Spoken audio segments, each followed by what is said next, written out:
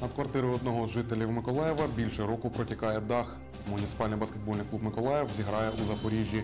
Доброго ранку в ефірі новини на ЮА Миколаїв у студії Володимир Степанов.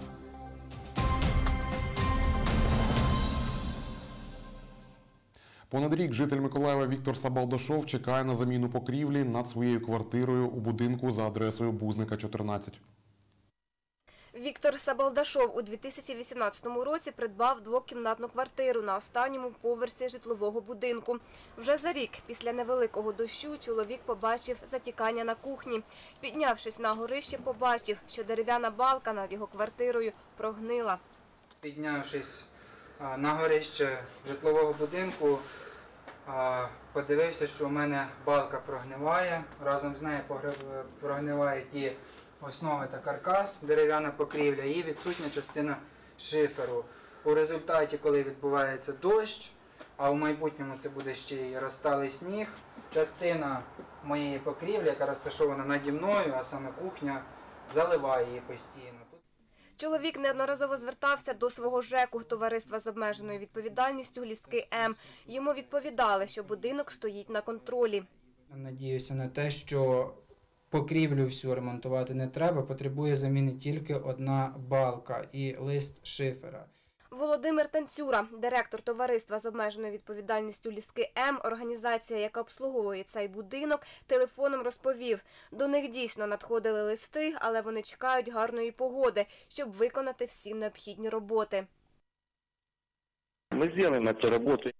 Ми зробимо цю роботу. Зараз ми по техніці безпеки не можемо ремонтувати дахи, бо вранці слизько, дах мокрий. Те, що ми восени встигли, ми підтягли. Інші адреси будуть відремонтовані при погодних умовах. Віктор Сабалдашов говорить, якщо до кінця цього року не відремонтують дах, повторно писатиме скарги до всіх можливих інстанцій. Ніна Булах, Ігор Чорний. Новини на Суспільному. Миколаїв. Завтра розпочне третє коло регулярного сезону Суперліги муніципальний баскетбольний клуб Миколаїв. У виїзному матчі корабели гратимуть проти сусіда по турнірній таблиці Запоріжжя. Суперники зіграють між собою втретє у сезоні. У першому турі у Запоріжжі господарі завдяки американцю Брендону Рендольфу, який набрав 29 очок та зібрав 12 підбирань, здобули перемогу 84-73.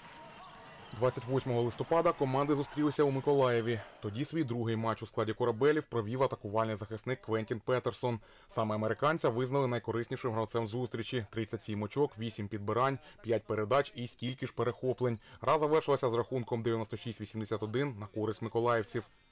У 2020 році корабели зіграли дві гри, запорізьці – одну, і у жодній команди не зуміли перемогти.